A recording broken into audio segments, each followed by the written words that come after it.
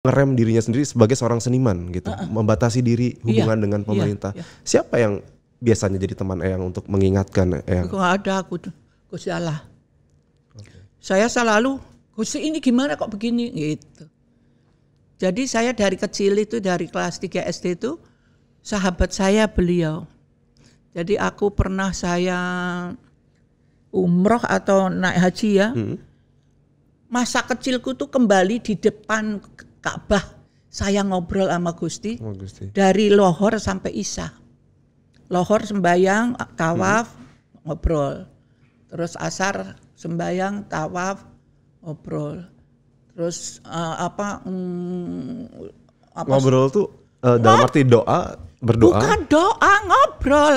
Seakan-akan di sana menjawab, wah nggak bisa. Berarti di kepala Eyang ada yang menjawab ya? Iya, jadi kayak seperti ada yang, Whoa!